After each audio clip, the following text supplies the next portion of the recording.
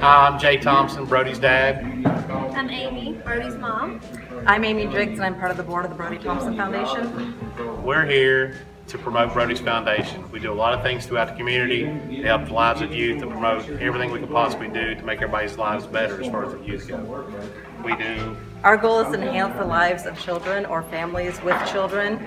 Um, we offer youth scholarships for children that want to play youth athletics but their parents may not be able to help. We offer a college scholarship annually.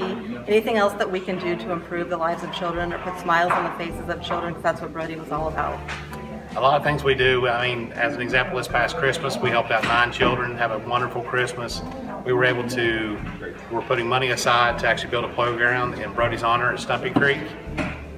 What else we got? We have several upcoming events, so visit our Yeah. Facebook page, Brody Thompson Foundation. You can see all the details about every event that we have each year. We also have a, as part of the events, we have a bowling event coming up March 5th at Victory Lanes, George Papa's Victory Lanes.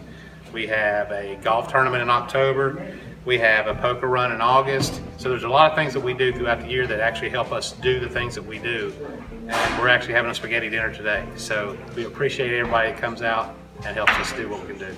We have a Facebook page. It's, it's updated constantly. It's uh, Brody Thompson Foundation on, at Facebook. We also have a uh, website where you can actually learn more about Brody at www.brodythompsonfoundation.com. And you can make a donation on our Facebook page or our website. Both can be done either way, but we appreciate anything we can get. Thank you.